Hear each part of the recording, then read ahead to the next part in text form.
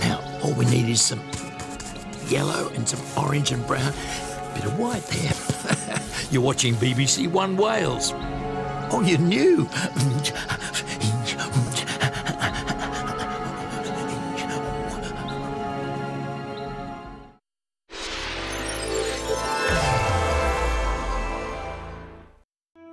I'm on a wonderful Welsh adventure as I discover more about four outstanding artists influenced by this great land. During the series, I'll be creating paintings inspired by their work. I'm going to have to paint in ways I've never done before. And at the end of it, I'll probably turn to you and I'll say, Can you tell what it is yet?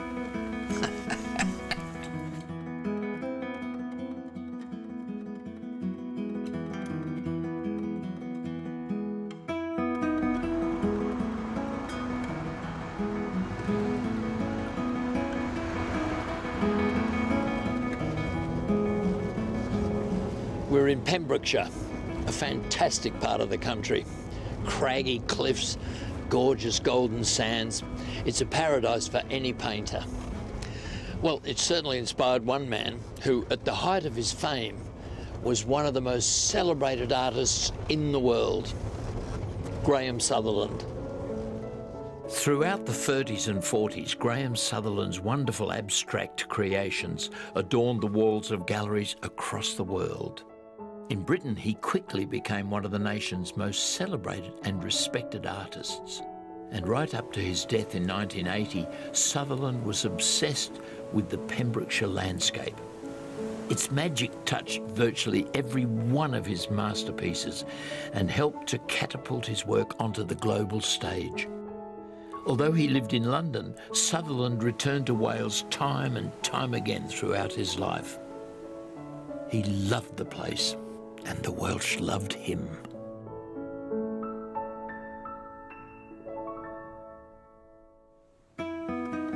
I must confess to feeling a huge responsibility in trying to paint my tribute to such a respected artist. So, to get inside the great man's head, I'm off on a journey around Pembrokeshire. I want to walk in Sutherland's footsteps, visit his old haunts, such as here in Porthclais Bay, and hopefully experience the same things that inspired him. It's the perfect Pembrokeshire day. And don't just take my word for it. Look at all the holiday makers enjoying themselves there, crabbing on the quayside.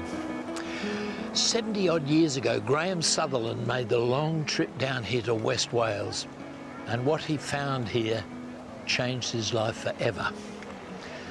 And it wasn't just the delicious Pembrokeshire ice cream that kept him coming back.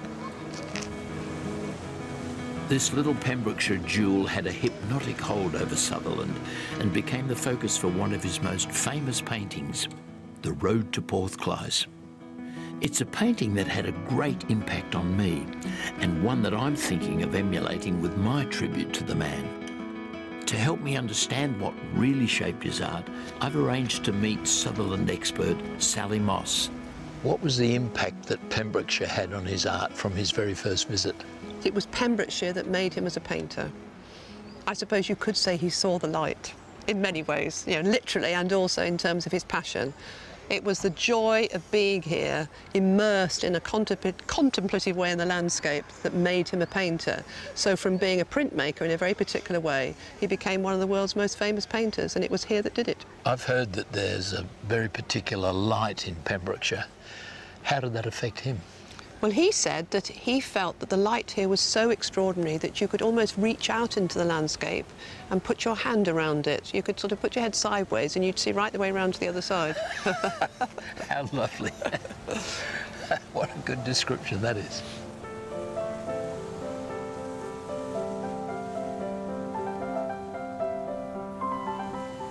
Sutherland became hooked on Pembrokeshire's spectacular countryside. When he wasn't sketching away in his London studio, he would rush back to Pembrokeshire, taking time out from his ever-growing celebrity status. Graham and his wife Kathleen rapidly became the new darlings of Britain's art scene. I had just arrived in this country in the early 50s, so uh, I know what his impact was on me, but how important was he in the world of art? Difficult to understand now what an incredible celebrity an artist could be. And certainly at that time, him, he and Kathleen were a little bit like the Posh and Becks of the time. Yeah. How would you describe a typical Sutherland piece of art? Sutherland's work is absolutely wonderful. He wasn't looking at vistas, he was honing in on tiny bits of landscape in exactly the way we, we all do.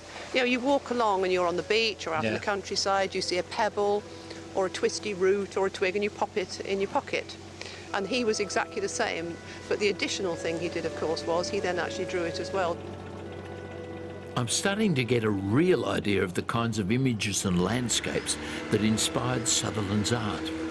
But our painting seems poles apart. We come from totally different worlds, and we've led totally different lives. Graham Sutherland was born in Streatham in London in 1903. And after a brief spell as an engineering draftsman, he developed a taste for drawing. But the most influential chapter of Sutherland's artistic life happened in 1934 when he visited Pembrokeshire for the first time. He later wrote, I had never seen country quite like this before. It was full of forms and suggestions. When I came here, I was hooked and obsessed. With the outbreak of war, Sutherland became an official war artist, visiting the bombed out devastation of Swansea and London's East End.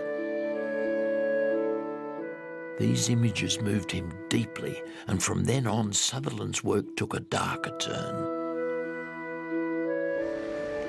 To get a real feel for Sutherland and the picture I'm hoping to imitate, I need to see his canvases firsthand.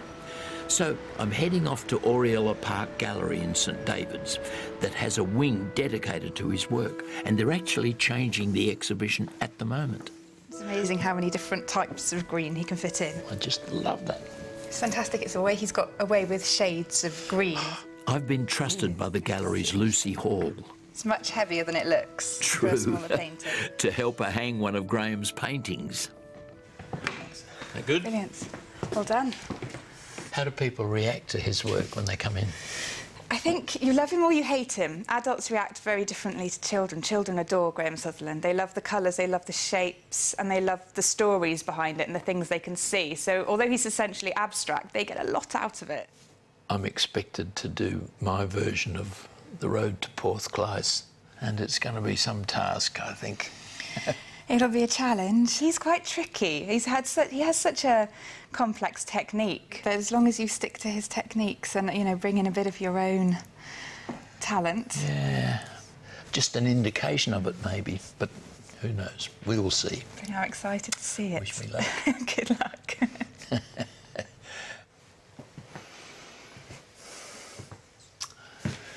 Well, this is it. It's very abstract. At least it has a horizon there and it has indication of sea and the headland and, and the setting sun. It's going to be some task. I feel a real need to get an inspirational eye for the detail in the same way that Sutherland did.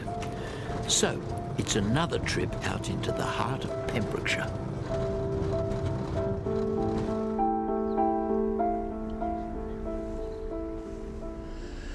Sutherland became obsessed with gnarled tree roots, wrecks of boats, old chains and rocks, anything that he could pick up that would be an inspiration for his art. And I'm very much like him. I mean, I can go to a beach and spend hours traipsing along looking for little bits of rocks or little bits of things that I might be able to polish, or shapes like this. Wonderful, complex shapes which you might draw or put into a painting. 70 years after Graham Sutherland's first visit to Pembrokeshire, a new generation of artists have been inspired by his work like Brendan Stuart Burns, a celebrated British artist who's made Wales his home. What do you think of Graham Sutherland's picking up objects wherever he went and grabbing them? Well, look, as you say that, I mean, Case in look at point. that. It's Yeah. fantastic, isn't it? I mean, that's just naturally broken off. A lichen there that's taken 30, 40 years to grow. Wherever you look, it's like a Sutherland drawing or painting, isn't it? See the spikes on the end of that, and then the water, and then this bit of pitch black almost in front of it, you know. Yeah, it is. Everywhere you look is a Sutherland, you know, and the detail in the view. Beautiful. Yeah. It's Does it feel like Sutherland to you when you walk in these places? It does in the minutiae, you know, the detail, the little sort of drawings and the little things that you know he would have been fascinated in the the, the, the, the root forms, the structures, the colouring. You know, it's the little things, not the big picture, not the scene, Like not the one view. behind you. Yeah, absolutely. it's those wonderful natural forms and shapes, you know.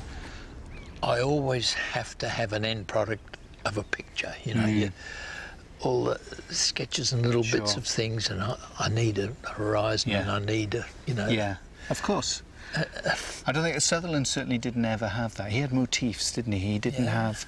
He had. He didn't ever work with a finished view. He learned to paint in Wales, but he, he found it extremely difficult to paint finished pieces in the landscape. And I find that st- still very difficult whenever I try to work with a so-called finished piece, whatever that is. So there's no mystery. No No, mystery. no left. mystery. Yeah. I think painting needs to be mysterious. I, I like not knowing. I like I like discovering through painting what the landscape is doing. Completely You know. opposite to me. I want to know what Well, there are is. lots of different languages, Yeah, aren't there? You know, music is, is the same, you know? After talking to Brendan, I feel I've finally got a much better understanding of the kind of natural detail that Sutherland drew on to create his art, and I guess I can't put it off any longer. It's time to plant my easel and commit some paint to canvas. A well chosen Pembrokeshire location to paint might just help me hit the ground running. Us artists get obsessed with the strangest things. When Graham Sutherland first came here, he became fixated with that hill, Car- Carnith Llythir, and that's not easy to say if you're an Australian. but he just loved the rocks all over the top of it, and he drew them countless times. Mind you, I don't know how he would have got on with the distraction of these pigs wandering around all over the place. There was an old farmer had an old sow. Out, out, idly down. Susanna's a funny cool man. And, and idly down. I think I might just have found the ideal spot for me to paint my tribute to Sutherland. It's a wonderful cottage with fantastic views. I'm using acrylic paints and I've already laid down a framework with some quick pencil sketches. I think I've got to get on with some paint. I want to see some great gutsy chunks of, of colour in there. So let's do it. Slosh a bit of white in with some, some of that really orangey red to create that road coming down there first, I think. And he sneaks back there. It's fascinating, isn't it? But I'm already getting a feel of the way he used colour judging from his paintings.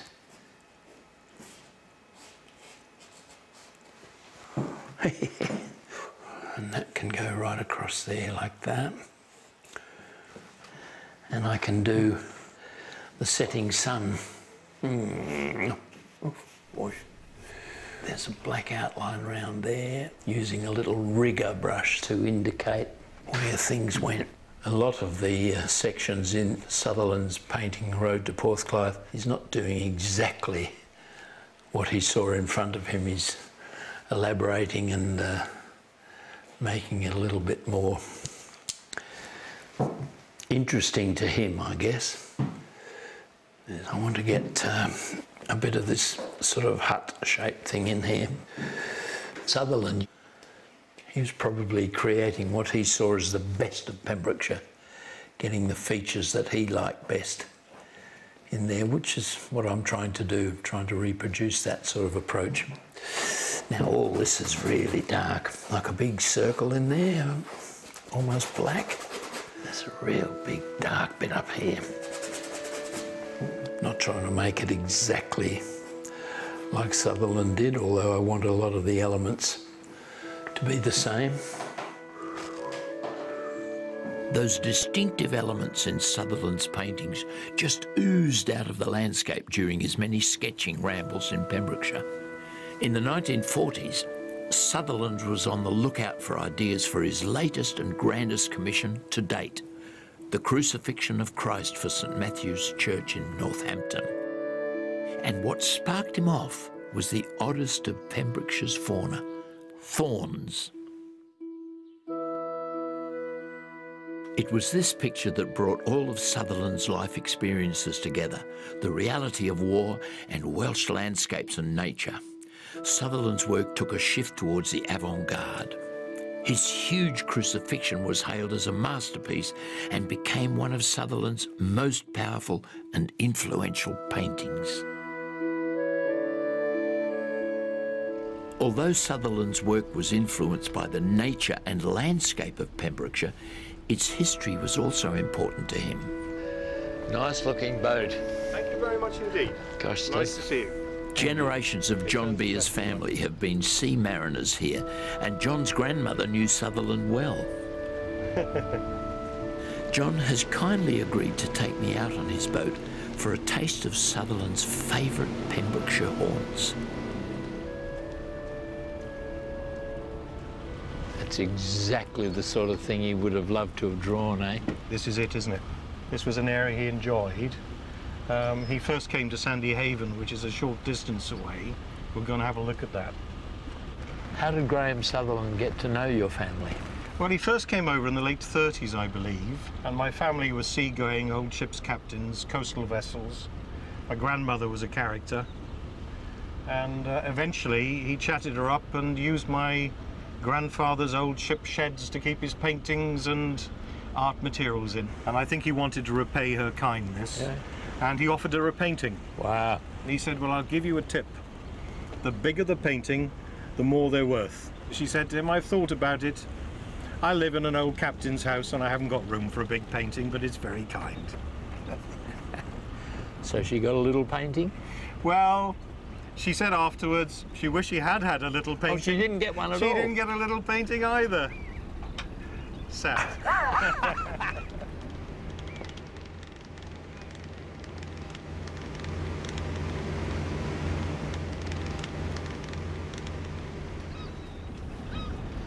So this is Sandy Haven. this is Sandy Haven Creek, and this is where my family lived. Did he do a lot of painting out in the open? My grandmother says that this was his favourite location, but it was definitely the first he came to in Pembrokeshire. Lovely light and shade there now with that bright green bit and then the darkness behind and Yes. that little waterway going in there. Just delightful. Uh, it probably enabled him to have a different view. Nice to see the land from the sea for a change. And over here is the red sandstone that Sutherland enjoyed. Very dramatic. Yeah. And I know that was a favourite position for Sutherland to set his easel up. Spent many days there. He loved those rocks, didn't he? This is the kind of thing which um, might set me off. Uh, I think it should be understood that when I start to um, be interested in something, I, I have to prune everything away except the literally the form which I happen to be interested in, such as such as this. And in in this particular estuary, the light is so strong normally that the shadows are really as important as the forms themselves. Sutherland's landscapes may have taken the world by storm, but he was also well known for his portraits. In the 1950s, he was commissioned to paint Sir Winston Churchill. A great honour, but one that was about to blow up in Sutherland's face. The painting was praised and reviled in equal measure by MPs. Churchill hated it At the official unveiling, he couldn't resist taking a sarcastic swipe at Sutherland's expense. It's a remarkable example of modern art.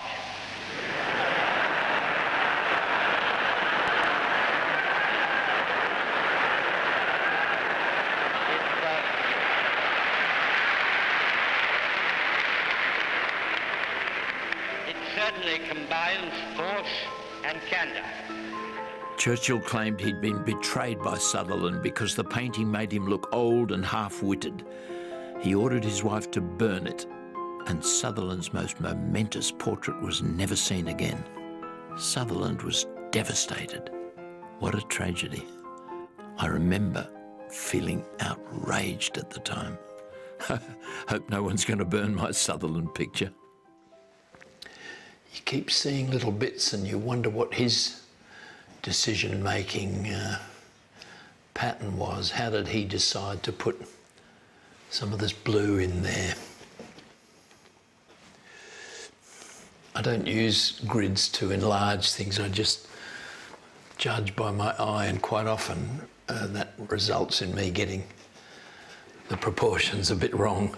Of course, Graham Sutherland loved to use grids on his paintings to blow them up to the exact shape and size of the drawings that he'd done beforehand. He wanted that perfection and that exactness.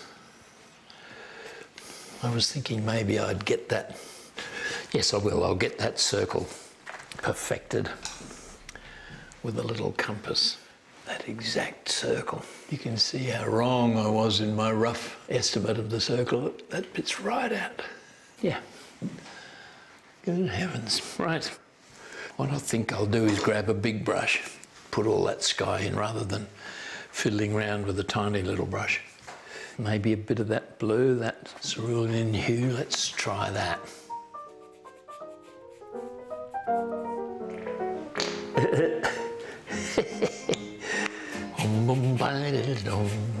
I'm trying very much to follow Sutherland's colours, the way he organised them all. There's a really dark black bit in there against that crescent moon shape. Sutherland used a lot of these earth colours. They just relate to the a green farming community and the earth colours are forever shining through from underneath. Forever there when it's ploughed or moved up at all. Gosh, I'm enjoying this. As it progresses, I get the sort of feeling the way Sutherland has built the scenery into the whole thing and worked out how it all works. And it's just lovely.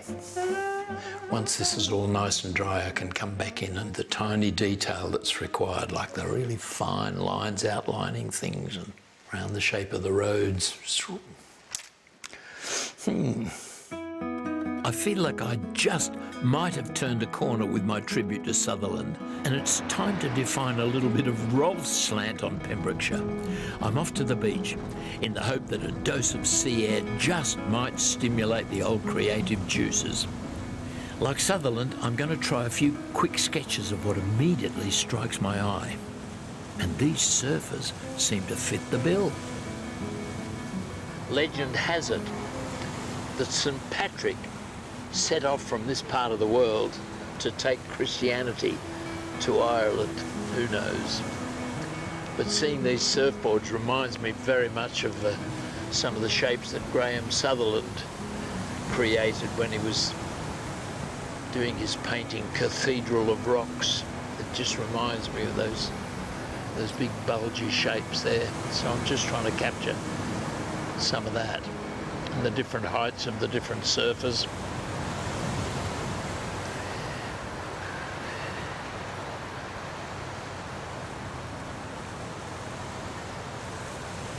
Well, it's been a really inspiring trip to the beach.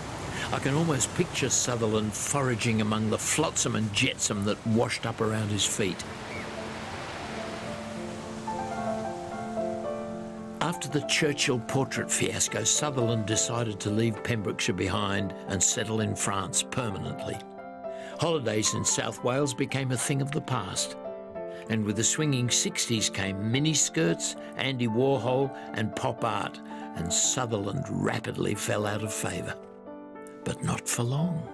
In 1967, Graham returned to Pembrokeshire and was instantly reinvigorated. He said, I thought I had exhausted what the countryside had to offer. I was sadly mistaken. Sutherland poured out Welsh landscapes again, right up to his death in London in 1980, at the age of 75.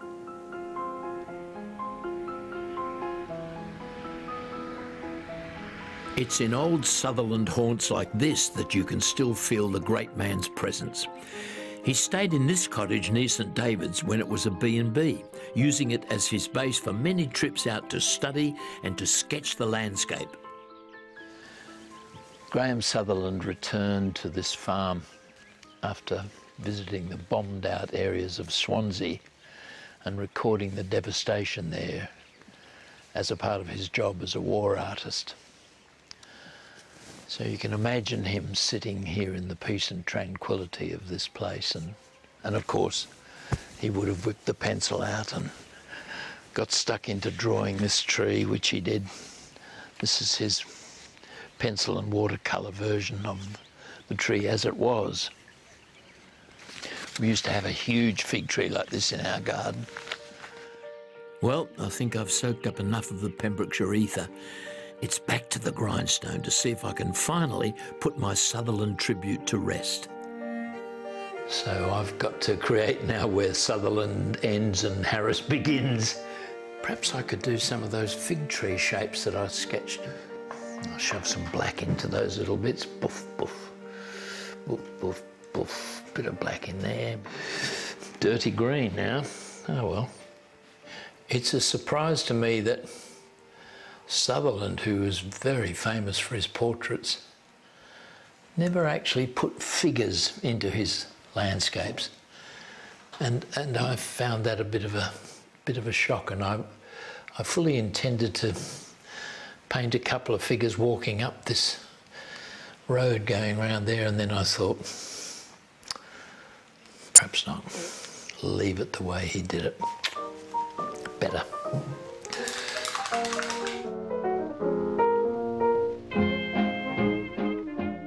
there's a big leaf that comes down there like that. So I'll, I'll, make a bit more of a feature of that because some nice dark bits behind this and showing that leaf there.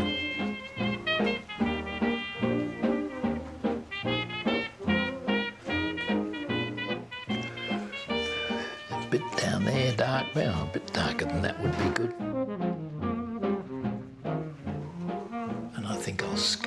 Those branches so that they start to disappear back into the gloom. Very nice.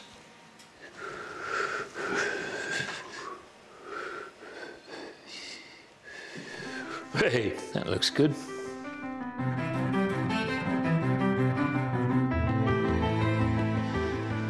Graham Sutherland once said that it was in Pembrokeshire that he learned to paint. And having spent a little bit of time here, I can, I can understand that. A lot of people don't warm to Sutherland's art. But you know, art isn't supposed to be just pretty, pretty pictures. It should inspire a passion. It should, it should encourage debate. And Sutherland certainly did that with his work. Just remains to sign this now, and uh, I've finished my version of The Road to Porthclais.